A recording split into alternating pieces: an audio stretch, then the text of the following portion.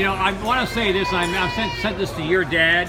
There aren't many customers that I hope sincerely to see again at another party, but you guys and your families mean a lot to us because of the number of meetings we had and the interactions we had.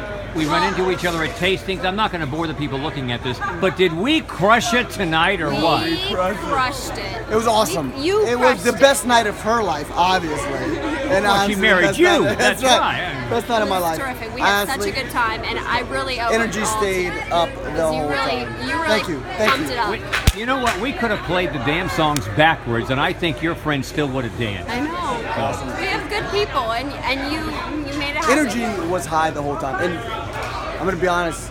A lot of times you go to you, people will slow it down because Right. people need a break.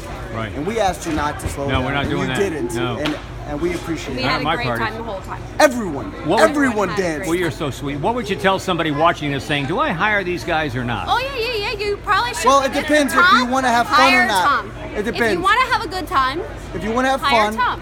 yes. If you want to have a boring time, go some- with some, someone else. I guess go with someone else. Honestly, Now, they, they did it. They'll do what you want. thank you so much. All right, one more time, I got to say the bus is leaving. Yeah, we gotta we gotta go get on the bus. I guess we got.